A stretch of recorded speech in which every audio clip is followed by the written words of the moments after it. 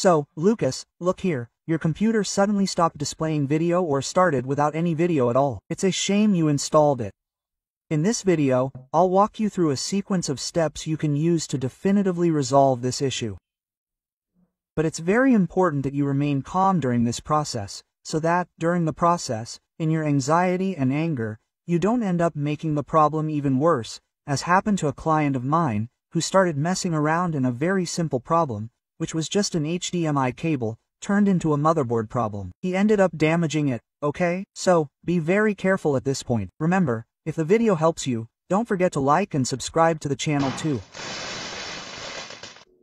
First thing, everyone, when you turn on your computer, check here by pressing the caps lock. Look, it's lighting up guys. Very important. This is already a good sign that the processor is working. It's processing the data here and should display the image, but the problem is on the video card and on the front, okay? But since the LED is lighting up here when you press caps lock, also check if your keyboard is connected correctly. It has to be on any USB port here. I'll plug it back in, press caps lock, and it lights up there. Num lock also works. If it's not lighting up here, guys, when you press it, then I'll leave a mark here in the video so you can skip ahead and see what you might be doing in this situation. On mine, it's lighting up, so here, okay, I can follow the test procedures below. First of all, to rule out that the problem isn't the monitor, we'll disconnect the cable from the monitor and connect it to another monitor. If you don't have another monitor, it could be a TV like this one that has HDMI on the back. You'll connect the cable from the video card, the HDMI from your TV, or another monitor you have there, okay? If possible, okay, let's say you don't have any other monitor or TV with HDMI, then you'll really have to move on to the next step. But remember, this is the first step. Sometimes your monitor might have a problem. Sometimes it's not turned on too. Sometimes some monitors turn off by themselves after a while. So, you check if the power is on, as I said here, if you can see it clearly, and make sure it's connected properly. Then, make sure the cable is properly connected, both here on the video card and on the monitor. It has to be very well connected as well. Check here, put your hand there, with your finger, and make sure it's properly connected, okay? Another important thing, make sure you connected it correctly. What happens, a lot of people come here, turning it on for the first time or doing maintenance, I don't know, something, and forget to connect it here to the motherboard, connect it here, because most motherboards have an HDMI connection as well, and they end up connecting it here and there's no video. Why? Because it's down here that you have to connect it to the video card, if your computer already has a dedicated video card. If it doesn't, your processor probably has integrated video there, so you connect it up here. But people often forget and end up connecting it up here by mistake. The right thing to do is connect it down here. I'll connect it here. Look, look, it already gave an image because up there on the motherboard wouldn't really give an image. This processor I have here doesn't have integrated video. Okay, and following this same line of cable reasoning, Another thing that can prevent your computer from displaying video is the cable itself. I'm going to connect this one here. For example, it's another HDMI cable. Notice that it doesn't turn on. What happens is that sometimes the cable is defective, okay? Or if it was working up to a certain point, it could be that somewhere along the line it broke, got chewed, something like that, you know? Especially if you have animals at home, sometimes a dog or something like that, they'll chew it, or the table leg will be on it. Even from moving the cable around so much, it ends up chewing it and losing the ability to transmit video. You go and get another cable, remove the cable that's there, and test with another cable, okay? And then the image comes back. It's that simple. You don't even need to open the case. It would solve the problem. Another situation, if possible, Let's say you have a more modern monitor that already comes with a DisplayPort cable, like this one here. It's a slightly different cable than HDMI, and all current video cards come with a DisplayPort, so I'll even remove the DisplayPort protection here. You'll try connecting with another connection before opening the computer. Then it's a good idea to try another type of cable, another connection here, look, on the DisplayPort here. And sometimes it gave an image for some reason, a little dirt, something on the video card's HDMI port. It eventually stopped displaying video, but only a display portion, okay? But that's it, if you can do this test, sometimes it can solve it. It could be a physical problem with the video card, which sometimes stops working only with HDMI. It happens sometimes too, but this is usually a case of the older card, something like that. More likely, it's dirt, something, oxidation. That's why it's always good to have this at home, look, not even for contact. This here saves a lot of life, whether it's memory slots, video card slots, or the connections themselves, USB, HDMI. You can apply this here with the part disconnected, of course, and then let it dry a little. It dries very quickly, sometimes the connection works perfectly again. Okay, everyone, in the situation where when you press the cap here, no LED lights up, or no LED lights up, or if it stays on all the time, let's say it's on here, but it stays on and doesn't change when you press it, it doesn't turn off and on again. The first thing you need to check is your personal power outlet, especially if it's one of those cheap power strips here, which causes a lot of problems. I've had a client of mine buy a computer from me, and it was working perfectly here. When he got home, it didn't work. The keyboard LEDs wouldn't light up, it just turned on and didn't display anything. He'd get there and check. It was a very simple power strip like this one, just unplug it and plug it directly into the outlet, and that would fix the problem. It could also be a problem with the outlet, so check and test with another outlet. What I recommend is that you use these outlets, quality power strips with filters, okay? Like this one, the iClamper. The iClamper is better, and I'll even include it in the description here, because this one already comes with a real protection circuit, with several towers, not just a fuse. This protection circuit will really give you extra protection for your equipment.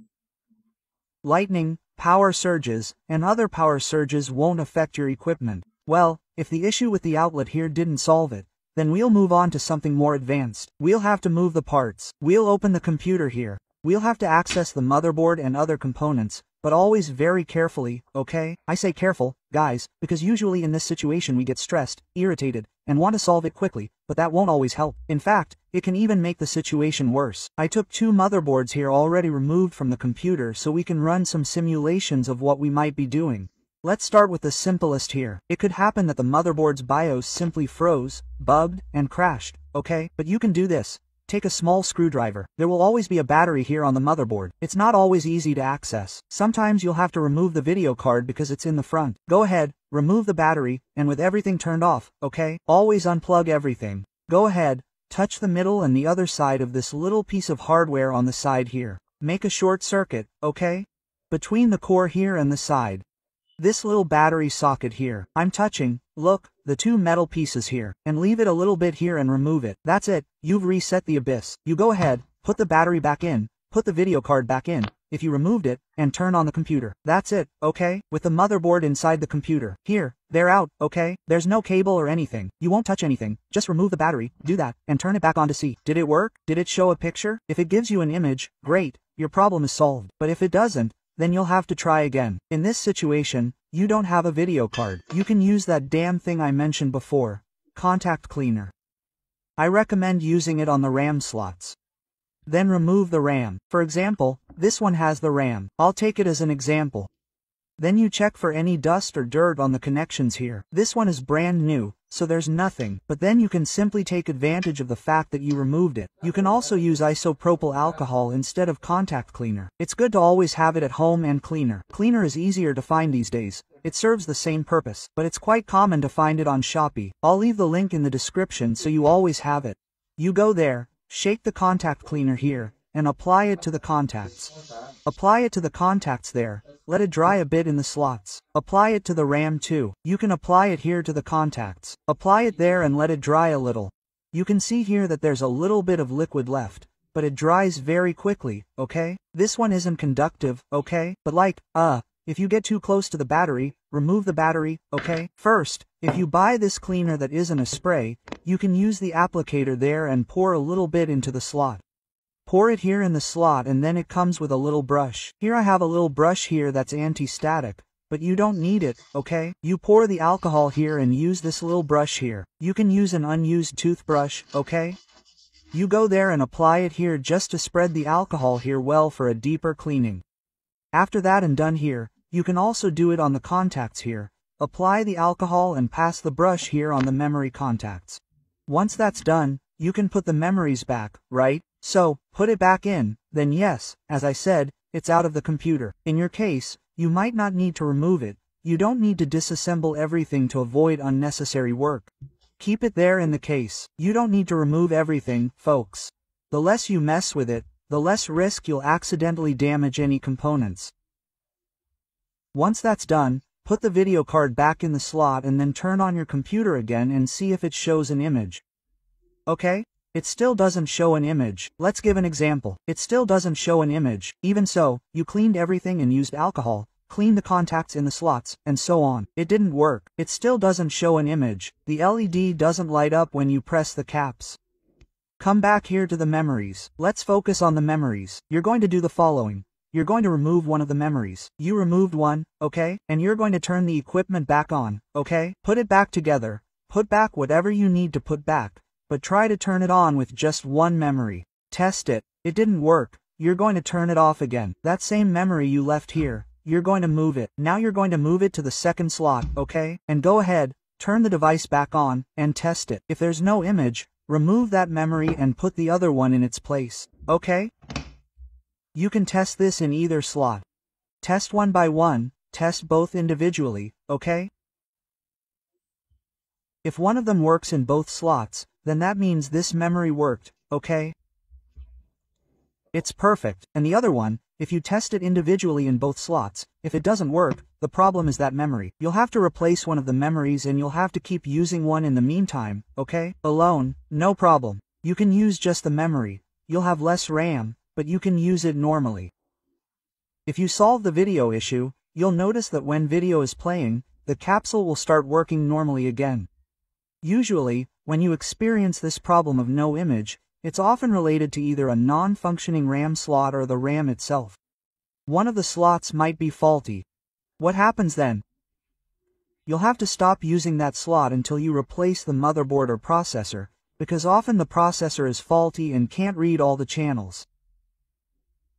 Each slot here would be a channel, let's assume. So, if the processor has trouble reading one of these channels, that slot won't be functional. But this happens more often when there's physical damage to the processor. Sometimes someone drops the processor, breaks a pin on the processor, or breaks a pin on the motherboard where the processor connects to the processor socket. So, it depends a lot on the case, but in most cases, when video suddenly stops displaying without anyone touching it, it's usually due to dirt, Cleaning will usually resolve the issue, but it can happen, if it's an older memory, that it suddenly stops working, but because its useful life has ended, it simply died, right? Then you'll have to replace it. It's a situation that can happen. After all this, folks, it still doesn't display video. I've tried everything, but none of them show video. So, before we say, it's not the video card that's the problem, we'll have to buy another video card, there's still a possibility it's the power supply. The power supply not only powers all the components, motherboard, processor, hard drives, SSDs, and LEDs in the computer, but also, as in this case, the video card independently through the power cable. And it even has a working white LED. What happens is that many of these cards, if you don't provide the correct current, may not display video either, and this LED may turn red or not even light up. So if it has this LED and it's a color other than white or green, then it's easy to kill the problem from the start, right? But if there's no LED at all, or some video cards don't have one, it would be interesting to also test with another power supply. Get another power supply from a friend or a colleague, find that difficult. Or if you sometimes keep a good quality power supply lying around, then you could test it. But this situation is a bit out of scope because not everyone will have a power supply at home to test. But if you do, it doesn't hurt. But let's just say that even with the power supply, it still didn't work. In this situation, the video card really isn't working properly. There are some symptoms that determine if the video card is truly bad, mainly when it starts up differently, when its rotation speed becomes very fast, something abnormal, behavior it had previously. Sometimes, when there's a shorted memory fault, the video card fan will spin very loudly, making a lot of noise. So you can already notice that the video card really isn't working properly, or sometimes it doesn't even spin up. If you see that it's not even starting to spin up, some video cards really don't spin up, but only after the equipment is turned on. What's not normal is the card simply showing no signs of life. Even when turned on, it doesn't spin up. So, it could actually be a symptom of a dead graphics card. I think that's it, folks. If any of the steps helped, let us know which ones you followed and resolved the issue. If the graphics card is faulty, check if your processor has integrated video. If it has integrated video, you can remove the graphics card and leave it with just the processor. Then, connect the HDMI cable to the motherboard itself, at the top, until you buy a new graphics card. You can use it like this. If you have any questions, leave them in the comments and I'll answer them as soon as possible. If the video helped, don't forget to like it and subscribe to the channel, as future videos may help you too. Once again, I invite you to access my complete PC assembly course here, to become an expert in hardware in general. It's an excellent course, very complete and very accessible. A discount for those of you who watched the video so far, okay? So, that's it, big hug, see you next time. Thanks.